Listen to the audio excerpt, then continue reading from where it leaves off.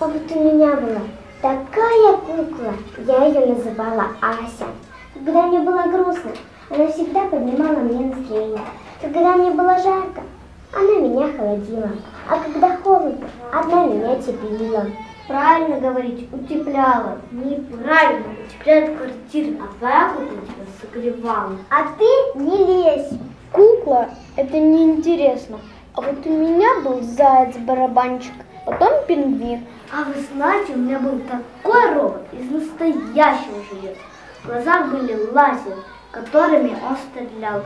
Он был огромный до потолка и сильный, как Супермен. И что, ты его тоже того? Чего того? Доломал. Ну, ясное дело, однажды лазером в подушке дыру прожгли. Так она и осталась. Хотите покажу?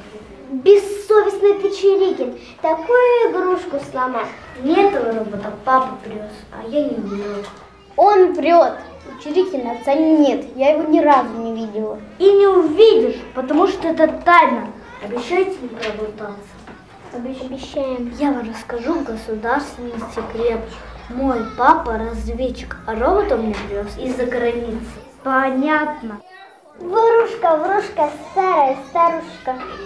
Перестань, у Сашиного папы другая семья. В той семье двойняшки, и они в следующем году к нам в школу пойдут. Разговор есть.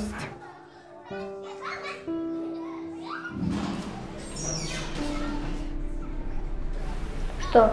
Да ничего, давай обнимемся, по-братски.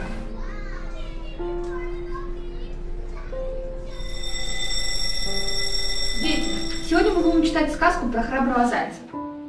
Про храброго зайца? А вы знаете, в детстве в зоопарке видел, как заяц волк жили в одной клетке. Честное слово, так и было.